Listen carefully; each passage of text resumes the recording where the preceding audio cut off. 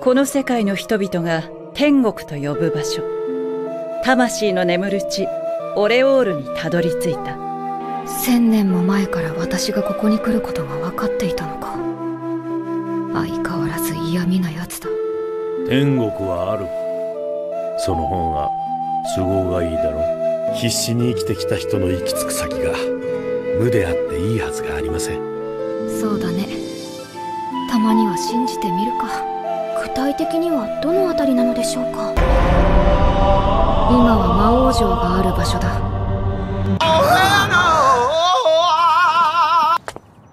オレオールを探してヒンメルと話すんだ。